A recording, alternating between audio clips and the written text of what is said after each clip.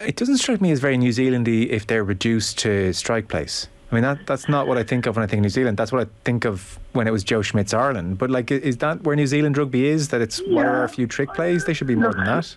I think New Zealand have had more losses in the last 12 months than they've had in their history. So they look a little bit vulnerable. And the skills that always held them in good stead, I still think they're capable and have them. But I just think they've had a big kick to their confidence. Mm. And I don't know whether that's been an, an extra destabilising by knowing that the coach is gone at the end of the year and there's a new coach taking over afterwards and that he was made to feel a bit vulnerable. But the team looked vulnerable. Yes. So I guess that crystallises who Ireland want to play in the quarterfinal.